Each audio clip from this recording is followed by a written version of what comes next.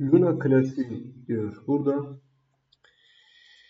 Bir sente ulaşamamasının 3 işareti gibi aslında bir enteresan bir şey var. Yani şey diyor aslında niye bir sente ulaşamıyor e, diye tabi soruyor. Neyse üstüne şimdi şöyle bir konuşacağız. Neden fiyatı bir sent değil veya niye ulaşamıyor tarzında e, tabi genel e, diyebileceğimiz bir e, soruyla bizlerin karşısına gelmekte.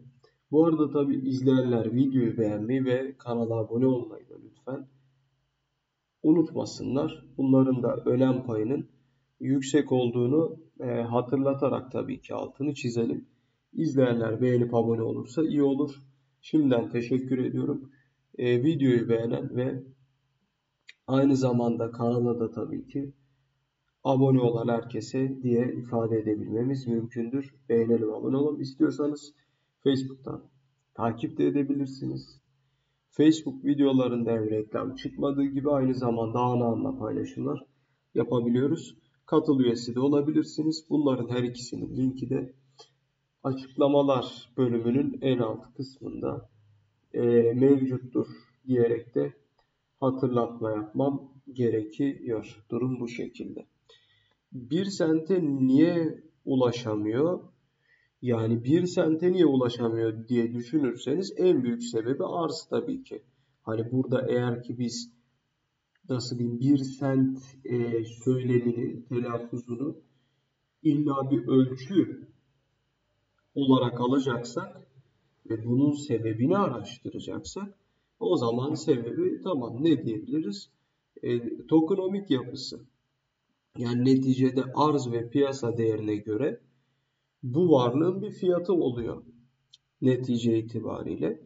Dolayısıyla yüksek bir arzı olduğu için fiyat 1 sente tekabül etmiyor veya piyasa değeri katlansa veya katlanacak olsa da yine bile e, öyle bir noktaya tabii ki tekabülü pek beklenmeyen bir e, hale tabii ki geliyor diyebiliriz. Aslında buradaki şey böyle yani buradaki e, muhabbet ana hatlarıyla böyle. Tokenomik yapısı yani evet şeyin e, cevabı vaziyetin cevabı. Daha doğrusu en büyük sebebi bu. Yani e, hususlar arasındaki en büyük ana ve temel sebebi aslında doğrudur. Tokenomik yapısının yüksek olması. Ha tabii bir diğer sebep piyasa değeri. Ama piyasa değeri değişir. Şöyle piyasa değerinin üzerine şundan dolayı çok konuşacak bir şey yok. Çünkü e, piyasa değeri artar. Ya onda sıkıntı yok. Daha önce de söyledim. Şimdi bugün böyle faizler düşmeye başlar. Ortam iyileşir. Piyasa değeri ciddi şekilde yükselecektir. Ha, birincisi e, bu şekilde yani yükselen artan piyasa değerine rağmen fiyat 1 sente yine gelmeyecektir. Bu bir. iki yükseldiği herhangi noktadan pozisyonlardan diye ifade edelim. Neresi ise artık. Pozisyonlardan yine de ne olursa olsun e, çok fazla kalıcılık yakalayamayacaktır. Yani kalıcılık yakalama e, ihtimal ve potansiyeli esasında baya bir e, düşük. Yani ilerlediği noktada tekrar söylüyorum e, kalıcılık yakalayabilmesi zor. Çünkü hep söylüyorum yani Lunca evet para girişi olur olabilir. E, yüksek oranda yani hatta girişler. Ancak bütün bunları değerlendirdiğimiz zaman yine de e, girişler olduğu kadar, hızlı girişler olduğu kadar hızlı çıkışlar da olabilen bir varlıktır. Mesela bu Shiba'da da öyle. İşte geçen sezonda e, Shipcoin üzerinde çok buna çok benzer e, durum ve durumlar gördük. Fiyatlar yükseldi mi? Acayip yükseldi. Öyle böyle değil.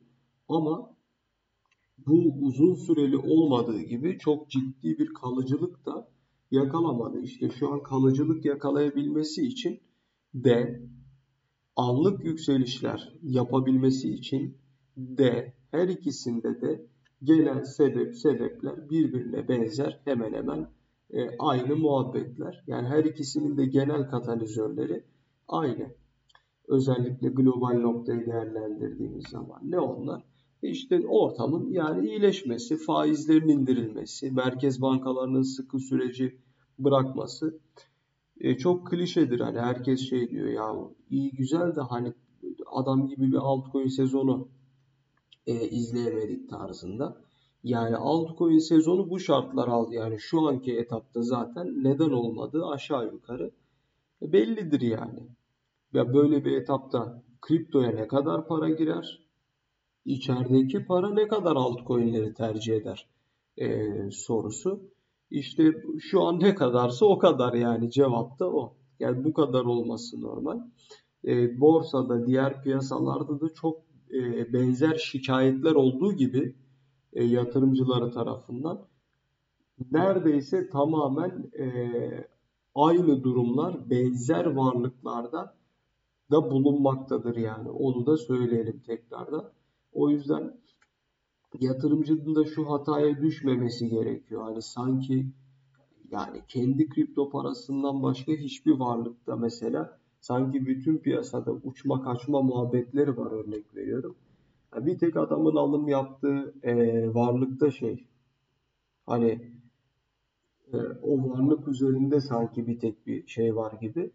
E, esasında öyle değil yani aslında. Piyasada maalesef genel bir e, sıkıntı var. Yani piyasa açıldığında da tutup bir sent olmaz yani zannediyorum ki e, fiyatları.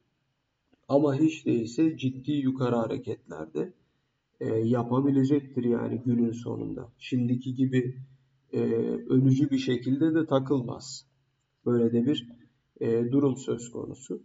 Bir de tabii içeride ciddi bir FOMO olduğu zaman e, onu yönetmek de kolaylaşıyor. Yani şu an örnek veriyorum bir şey olduğu takdirde tık demiyor Lunge. Pek çok varlıkta da böyle. Ama fiyatlarda o hareketlilik olduğu zaman bu sefer ufacık bir şey olduğu zaman bile e, yukarı gitmeye e, yer arıyor desek yeridir yani açıkçası e, varlık ve varlıklar içinde. Böyle bir ortam içinde dediğim gibi e, biraz daha piyasanın önümüzdeki günleri özellikle 18 Eylül e, tarihiyle birlikte gelecek faiz indirimlerini e, beklemesi gerekliliğinin e, olduğunu ifade etmek gerekiyor e, kanaatinde bulunuyorum. Durum böyle. İlerleyen videolarda da tabii daha net bir şekilde konuşmaya devam edeceğiz. İzlediğiniz için teşekkür ediyorum. Abone olup videoyu da beğenebilirsiniz. Bol kazançlar diliyorum izleyen herkese. Hoşçakalın.